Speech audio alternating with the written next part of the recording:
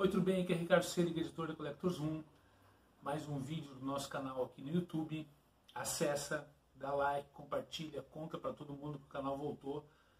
E você pode acessar também a Collector Zoom em www.collectorzoom.com.br. Tem matérias todo dia, tem muito review de CDs lá de todas as épocas, de todos os estilos. E hoje eu estou aqui para falar de um disco que eu gosto muito, que é este aqui, o Rumors, 11 primeiro álbum do Fleetwood Mac. Esse disco é muito interessante porque ele possibilitou ao Fleetwood Mac, que era uma banda que surgiu no final dos anos 60 na Inglaterra, uh, na primeira metade da carreira fazendo um blues rock, assim, capitaneada, tipo, liderada pelo, pelo Mick Fleetwood e pelo John McVie, daí que vem o Fleetwood Mac, junção dos dois sobrenomes, mas tendo como, como figura principal o guitarrista Peter Green, e era um blues com uma pegada um pouco mais psicodélica e tal. Mas a banda acabou tendo problemas, o Peter Green teve uma viagem de LSD que causou danos meio permanentes assim na mente. Teve outros guitarristas e tal.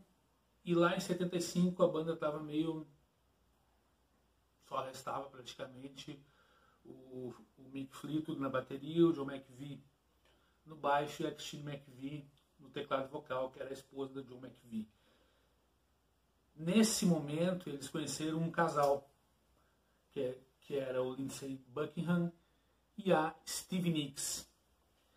E o Mick Fleetwood ficou encantado com uma música de um disco que eles tinham lançado em 74, acho, Buckingham Nicks, e chamou os dois, chamou na verdade o Lindsay para tocar no Fleetwood Mac, mas ele disse que só vinha se a Stevie Nicks viesse junto, e o resto acabou virando história.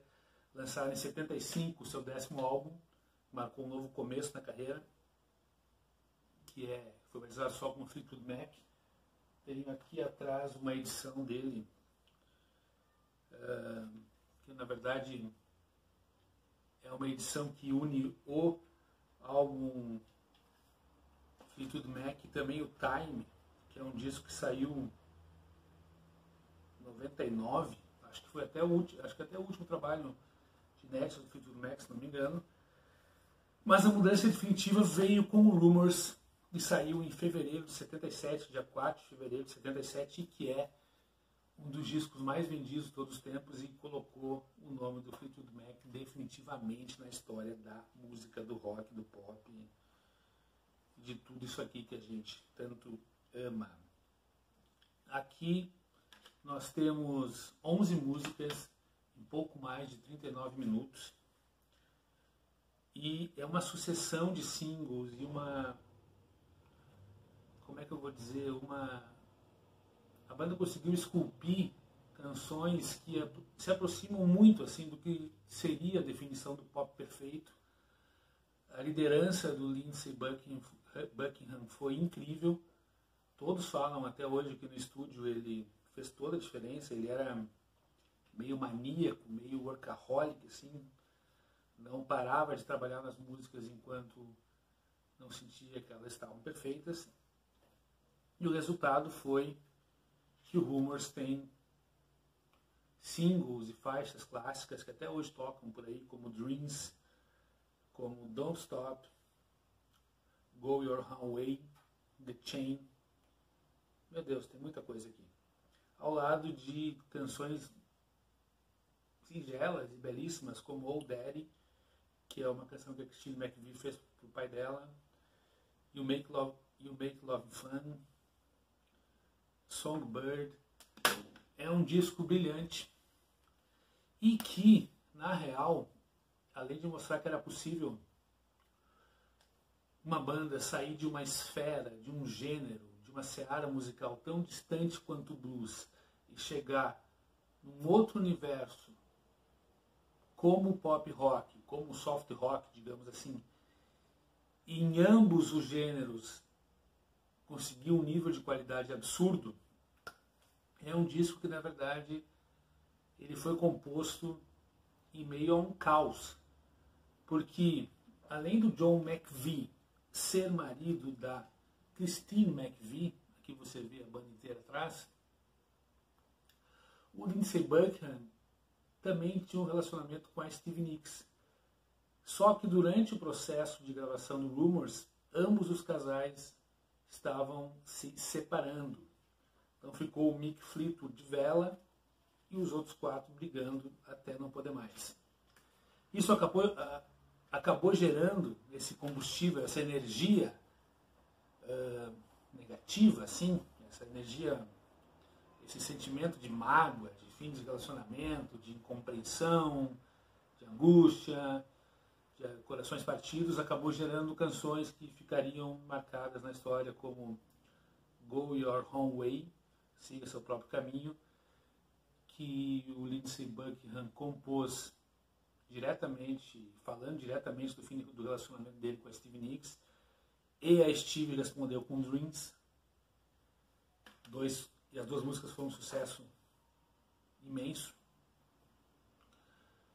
Dreams, na, na real, ela veio com a ideia, uma ideia surgida no piano, quem trabalhou toda a universaria, todo o arranjo dessa música foi o Buckingham. Tem também a Christine McVie compôs You Make Love Fun, falando do caso que ela estava tendo com o Road da banda. Agora me lembrei de uma coisa. Na verdade, Dreams, a Steve Nicks compôs sozinha ao piano, levou para a banda, apresentou, eles gostaram, acharam demais. O Lindsey Buckingham foi ali e fez toda aquela aquele arranjo, aquela fez a música viral que a gente conhece hoje. Mas, só um pouquinho. A resposta da Stevie Nicks para Go Your Home Way, na real, foi outra música que agora me deu branco, está aqui, ó, Silver Springs. Está aqui nessa caixa, esse boxezinho do Mac. Na verdade, era uma canção para estar tá aqui, uma canção belíssima, belíssima, belíssima você ouve, coloca aí no YouTube, ou no Spotify, ou em qualquer lugar, Silver Springs, você vai ver o quanto é uma canção linda, mas que não entrou aqui porque, segundo a banda, o disco ficaria muito longo. E a Steve Nicks ficou com essa mágoa e acabou gerando mais pra frente uma separação e tal. Lá na década de 90 saiu fora do Fleetwood Mac porque ela queria colocar Silver Springs em um box que ela estava lançando na sua carreira solo. O Mick Fleetwood não liberou, incluiu aqui versão original e acabaram brigando e tal. O que eu queria dizer com esse vídeo é que Rumors é um disco atemporal, um disco brilhante, assim, um disco atemporal que mostra uma maneira de fazer música pop muito própria. Os arranjos são muito transbordam elegância e bom gosto existe uma, uma dinâmica geral que todas as músicas têm arranjos ascendentes, elas vão crescendo. E comunhão de notas e harmonias vocais e outros recursos que imprimem um, um aspecto sentimental enorme e faz com que essas músicas emocionem quando você as ouve. Até hoje, na verdade disco está com 42 anos e continua sendo uma obra de arte brilhante, um disco incrível, sem igual na real. Se não me engano, é um dos 10 álbuns mais vendidos de todos os tempos, vendeu mais de 30 milhões, como eu falei. 30 milhões de cópias autenticadas, eh, conferidas, digamos assim, pelos institutos fazem esse tipo de levantamento, mas estima-se que vendeu mais de 40, 50 milhões de cópias.